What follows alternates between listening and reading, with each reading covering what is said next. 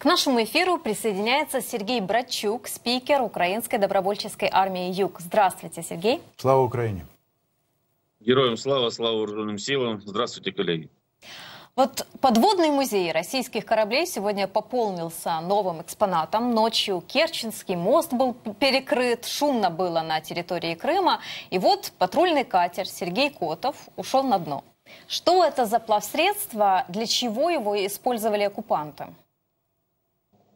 Ну, самое главное, что это был один из новейших кораблей Черноморского флота Российской Федерации, вообще один из новейших кораблей э, вообще в российском флоте. Этот проект, который был специально предназначен для охраны водного района, для патрулирования водного района. И, собственно, э, Сергей Котов внес охрану Крымского Керченского моста. Э, сегодня безопасность этого незаконного сооружения становится еще как минимум на порядок ниже. Ну и, собственно, корабль пошел на дно.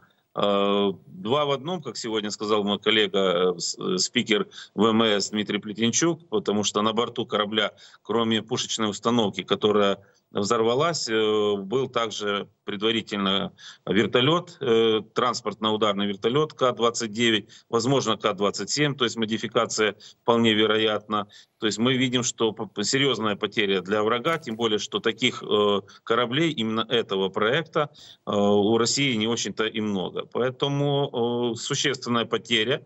Ну и плюс э, менее защищенным становится этот район патрулирования. И, собственно, мы все прекрасно понимаем, что это еще одна успешная операция сил обороны Украины, это подготовленная операция. Соответственно, э, силы обороны нашли ключик к системе безопасности российского Черноморского флота и демонстрирует это в очередной раз. Да, неизвестна судьба еще экипажа, вполне вероятно, кто-то смог спастись, но я думаю, что потери, о потерях мы будем узнавать потом из э, скромных, редких некрологов, которые будут появляться в тех или иных российских медиа по одному в неделю.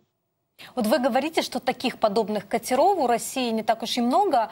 То есть, я так правильно понимаю, сейчас заменить россиянам такого рода катер невозможно? Или построить новый, например? Ну, если говорить о том, чтобы строить новый, во-первых, это же не вопрос одного дня, наверное, даже не одного года. Это, во-первых. Во-вторых, санкции, которые действуют, они в любом случае э, влияют на э, на российскую оборонку, влияет на производство кораблей. Корабли очень сложный э, механизм для того, чтобы так раз взять его и построить. Но единственное, могут воспользоваться услугами бурлаков из какой-нибудь Каспийской флотилии э, по суше могут перетащить корабль в Черное море, в чем я очень э, сомневаюсь. Поэтому Черное море закрыто. В любом случае загнанный уже на определенную локацию Черноморский флот Российской Федерации в очередной раз несет потери, которые снижают его функционал, э, снижают его боеспособность и, собственно, снижают его, э, скажем так, влияние на то, что происходит на театре военных действий, в частности, российско-украинской войны. Поэтому потеря существенная, и многие говорили о том, что и вполне вероятно, в этой разработке так, также было предусмотрено использование на бортах таких кораблей э, ракет «Калибр». Э, были ли такие установки на Сергея Котове? Я думаю, что мы со временем об этом узнаем. В любом случае потеря действительно очень существенная. Э, Сергей, я бы хотел еще услышать ваше мнение по поводу вот э, самого видео. Вы наверняка пересматривали его.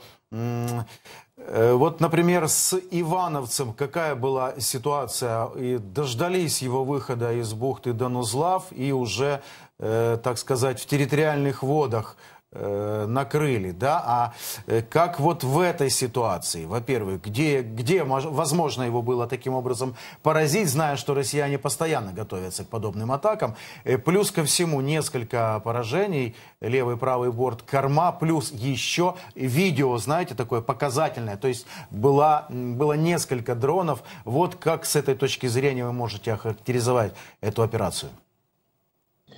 Э, в любом случае надо отметить то, что силы обороны действуют, как всегда, креативно. Мы говорим о подразделении э, группа 13, Главного управления разведки Министерства обороны Украины. Очень креативные ребята, э, очень продуманные операции, и это самое главное. Суть не в том, как технически это выполнено. Наверное, об этом даже не следует говорить на открытых площадках. Э, чтобы враг не понимал, откуда и что э, может его ожидать. Э, надо называть главное в этом то, что операция была подготовлена, то, что операция была спланирована, она базировалась на получении информации, она планировалась на расчетах, соответственно, и на том ресурсе, который сегодня есть у наших сил обороны. Ведь мы не должны забывать о том, что Главное управление разведки Министерства обороны Украины действовало в таком тесном сотрудничестве сотрудничестве с нашими военно-морскими силами Вооруженных сил Украины. Э, поэтому, еще раз скажу, это подготовленная операция, это операция, которая не позволила россиянам предпринять э, определенные меры для того, чтобы этих попаданий у них не было. А сегодня многие задаются вопросом, а, насколько беспечны э, россияне в своем поведении именно на боевых дежурствах. А это корабль, напомню, патрулирования. А, я скажу так, что корабли патрулирования, они э, обеспечены соответствующей аппаратурой, у них подготовлены экипажи, тем ценнее вот это очередная морская победа наших вооруженных сил, наших сил обороны, что удалось перехитрить врага, удалось его э, поймать. Я думаю, что продолжение следует. Да, надо будет что-то искать новое, но тем не менее. Э, сам факт наличия на борту вертолета К-29, то есть это поддержка операций, сам факт того, что это патрульный катер, сам факт того, что это была операция проведена в Керченском проливе, о боевых задачах подобного судна, что вы можете сказать? Ну, боевые, боевые задачи не определяются локацией в том числе. Мы же прекрасно понимаем, что это еще одна ступенечка, по которой силы обороны приближаются к Крымскому мосту. А, не просто к тому, чтобы на него посмотреть, а для того, чтобы это незаконное сооружение уничтожить. И мы прекрасно понимаем, что определенные заявления наших э, военных начальников, не только военных начальников, о том, что Крымский мост будет уничтожен, э, вот это становится реалией, причем реалией реалиями вполне вероятно, я допускаю, скажем так, что это произойдет уже в этом году. Ну и, собственно, как генерал Буданов в свое время обещал, что мы будем в Крыму, в Крыму мы были еще и в прошлом году, и становимся к нему на порядок ближе. С уничтожением патрульных кораблей, и не только патрульных кораблей, конечно же, э, наше, наше крымское время должно наступить скорее. Можно ли говорить о том, что Керченский мост э, защищен? Мы уже неоднократно, это перечисляли, и боновые э, заграждения, и баржи туда подгоняли, и наверняка есть береговая какая-то противовоздушная оборона. Насколько вот э, Россия, российские оккупационные войска в Крыму ценят этот объект и ну так скажем прямо, какие еще цели для наших дронов, как морских, так и воздушных, можно предположить в этом районе? Ну, собственно, вы, наверное, еще э, хотели сказать о боевых дельфинах, которые вот эта тема тоже информационно очень, очень да. долго разгоняли россияне. А, я как-то сказал в свое время в вашей студии о том, что, скорее всего, боевые дельфины, они уже давно перешли на службу вооруженной силы Украины, и, судя по всему, так оно и происходит. А, поэтому, если мы говорим о значении Крымского моста, тут тоже информационная составляющая очень важна, потому что оккупанты, они в последнее время разгоняют тему о том, что сегодня строится обходная дорога желез, железная а, по сухопутному коридору, и в Крым в том числе, и значение Крымского моста, оно все становится меньше и меньше. Ну что ж, а, мы на деле проверим, наши силы обороны проверят, насколько легко будет оккупантам без э, существования этой незаконной переправы, которая пока еще выполняет свои функции, но выполняет их неполноценно, потому что, а, во-первых, простое, во-вторых, скажем так, вопросы безопасности э, следования и, э, скажем, вагонов с вооружением, с боеприпасами э, по железной дороге через Крымский мост, эти вопросы безопасности сегодня не являются, простите уж за тавтологию, безопасными, потому что мы видим Крымский мост ненадежная конструкция, еще раз скажу, она незаконная. Поэтому с безопасностью становится и в Черном море все хуже. Ну а, собственно, что что касается, скажем так, и других заграждений, ну давайте спросим у того же большого десантного корабля Ленигорский горняк, который находился, например, э, в порту Новороссийск. Э, насколько безопасно оказалось ему быть э, именно в этом порту. Поэтому безопасных локаций в Черном море для россиян сегодня не осталось. Да, это не будет каждый день, но это будет. Сергей, давайте теперь перейдем к оперативной обстановке на юге Украины. 18 вражеских дронов из 22. Такой результат сегодняшней работы нашей ПВО. Запускали россияне дроны из района Балаклавы и были сбиты в границах Одесской области. Расскажите подробнее о последствиях. Ну вот видите, вы называете эту локацию на территории временно оккупированного Крыма, э, которая под пристальным вниманием. И я думаю, что если мы говорим о вопросах безопасности нашего юга, в частности Одесского региона, то э, всегда спрашивают рецепт какой, чтобы меньше шахедов летело в нашу сторону. Ну, борьба на упреждение, то есть уничтожение этих э, площадок, с которых эти шахеды запускают. Мы можем также назвать мы с Чаудом, мы можем назвать Приморско-Ахтарск. Что касается сегодняшней ночной атаки, э, воздушные бои были очень жесткие. Э, массированная атака, э, тем более, что у нас накануне фактически случилась эта трагедия. Сегодня уже хоронят первых погибших когда дрон прилетел в жилой дом. Собственно, сегодня эта атака была более массированная, но 18 дронов удалось уничтожить. Что касается попаданий, то это строение заброшенного, вернее, нефункционирующего санатория. Он перестал функционировать с началом большого вторжения. И, собственно, на этих кадрах все видно, что эти здания э, не в рабочем состоянии, они законсервированы. А те пожары, которые, к сожалению, возникли, они довольно быстро были локализованы Э, нашими э, спасателями, за что им честь и хвала. Э, снова-таки надо сказать огромное спасибо средствам противовоздушной обороны, нашим бойцам, мобильных огневых групп, которые максимально отработали. Враг пытается атаковать Одессу, враг будет пытаться и дальше это делать. И одна закономерность, которая проявляется с каждой такой атакой. Первая сугубо тактическая заходит с моря, вторая террористическая, она связана с тем, что враг открыто атакуют э, жилые кварталы. Враг пытается атаковать именно город для того, чтобы бить по мирным людям. Поэтому максимально хирургически сегодня должны работать и э, наши защитники неба, потому что враг пытается эти маршруты э, путать, враг пытается максимально, еще раз скажу, пролетать над жилыми домами для того, чтобы ограничить возможности сбития таких шахедов. Пока удается, слава богу, и вот сегодня самый главный результат, то, что обошлось без пострадавших, без человеческих жертв. Да, действительно, мы все благодарны нашим бойцам ПВО, которые защищают небо. Вы вспомнили о трагедии, которая произошла вот э, после предыдущей атаки в Одессе. И тогда в нашем эфире Наталья Гуменюк сказала, что а, беспилотники, который разрушил вот этот подъезд дома и убил 12 человек, он был с усиленной боевой частью, был э, выкрашенный в черный цвет. Э, были ли э, при сегодняшней атаке такие использованы? И вообще, как часто встречаются такого рода шахеды? Э, что касается атаки в ночь на 2 марта, то э, пока свою оценку окончательно эксперты э, не озвучили. Я думаю, что ну, в ближайшее время она точно будет озвучена. Что касается там, усиленной боевой части этого дрона, вполне вероятно, можно допускать. Но опять-таки окончательное слово скажут все-таки эксперты.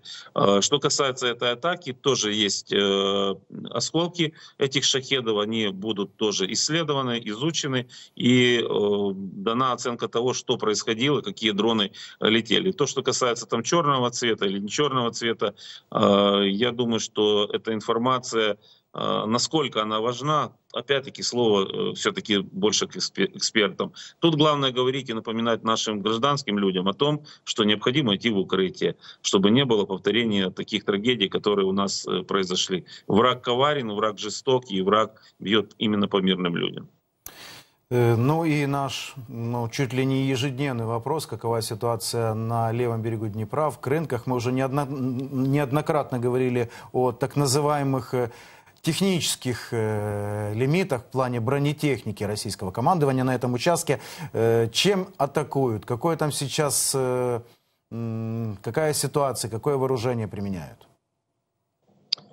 Э, Все, что есть в наличии у врага, он пытается применять. В основном сегодня речь идет о штурмах. Э, их интенсивность, она различная. Э, нет, скажем так, рекордных каких-то наступлений, но проблема в том, что надо собрать эти штурмовые группы для того, чтобы атаковать наши позиции. Плацдармы на левом берегу есть, наша контрбатарейная борьба – это один из главных способов отражения этих атак. Э, наши дроны – это еще один инструмент для того, чтобы уничтожать врага и не давать возможности ему овладеть э, нашими плацдармами на левом берегу. Поэтому ситуация максимально, насколько она возможно, контролирована, действительно остается очень сложной, потому что задачи врага понятны. Э, уничтожить наши плацдармы на левом берегу. Пока им это не удается, надеюсь, что и не удастся, потому что наши морпехи, наши подразделения сил обороны свою задачу выполняют э, на 12 баллов, наверное, по 10-бальной шкале. По поводу атак россиян запрещенным э, вооружением 1068 химических атак. Вот с начала полномасштабного вторжения в Украину совершила Россия, вопреки всем международным конвенциям, международным договорам. Об этом говорят в командовании сил поддержки ВСУ. Часто ли оккупационные войска применяют химическое оружие на Южном фронте? И что это за вещества? Есть ли у вас информация? Мы можем говорить о том, это следует из э, официальных э, релизов э, оперативно-стратегического стратегической группировки войск Таврия, в частности на запорожском направлении враг совершает э, такие военные преступления, используя э, боеприпасы с химическим, с химическим веществом. Э, то, что оно запрещено, это понятное дело. Об этом говорят наши э, коллеги, наши побратимы. Какое именно вещество применяется, э, сейчас тоже проводятся исследования для того, чтобы предоставить материалы потом, э, в том числе, наверное, и в международный трибунал, потому что действительно это военное преступление. Такие случаи есть, они подтверждены. Но что еще раз свидетельствует о том, что мы воюем с армией террористов. Ну вот, а кассетные боеприпасы? Была информация, что применяли на запорожском направлении, обстреливали населенные пункты, и тогда погиб мирный житель, это одна из недавних информаций. А это часто применяют кассетные боеприпасы по мирным населенным пунктам? Или это не в новинку уже тоже? А давайте, наверное, начнем со второй части вопроса. Это будет ответ э, вообще на вопрос как таковой. Э, с, кассетные боеприпасы враг стал использовать буквально первые же дни после начала полномасштабного вторжения. Э, сейчас разница только в локациях, вот и все. А если не ошибаюсь, это первый раз было использовано уже в марте 2022 года. Поэтому все, что запрещено, враг э, пытается использовать. Но опять-таки это свидетельство его военных преступлений, и все эти материалы будут э, на столе Международного трибунала, за это придется отвечать. Э, по данным партизана ТЭШ, в Джанкой россияне пригнали своих ФСБшников из Москвы. Приоритет деятельность подполья. Вот э, с чем связываете вы такое подкрепление? Не связано ли это вот с недавними историями с исчезновением российских военных? Я скажу так, что российские военные будут исчезать на территории временно оккупированного Крыма, и не только Крыма, постоянно, до той поры, пока российские войска не уберутся, а вернее не будут изгнаны с нашей территории. Понятное дело, что э, национальное сопротивление, э, движение сопротивления, которое есть на наших временно оккупированных территориях, речь ведь не только о Крыме, оно не дает спокойно оккупантам жить, потому что мы прекрасно понимаем, что Украина несмотря на все заверения э, врага, не ушла с нашего Крыма в 2014 году. А, сегодня партизанские движения работают, подполье работает, и все те операции, которые так или иначе проводятся на временно оккупированных территориях, а, здесь неоценимую помощь оказывают наши подполья, наши партизаны. Да, враг пытается найти этих людей, но надеюсь, что те меры безопасности, которые применяются, которые проводятся с нашей стороны, они не позволят э, не просто там разбить наше подполье, но и выявить наших э, людей. Они дождутся нас до победы и вместе уже отпразднуем нашу победу. Э, по данным нашей разведки, в целом по э, всем временно оккупированным территориям Москва пригнала туда около 30 тысяч бойцов Росгвардии. Но зная о том, что обещая какие-то тыловые занятия, тыл, тыловую деятельность, любой из российских бойцов может оказаться на фронте. То есть вот хотелось бы с вашей э, точки зрения вот разъяснить эту ситуацию. Это получается, что местных боевиков, коллаборантов уже не хватает? Или все-таки это усиление нужно связывать э, с предстоящими псевдовыборами на временно оккупированных территориях?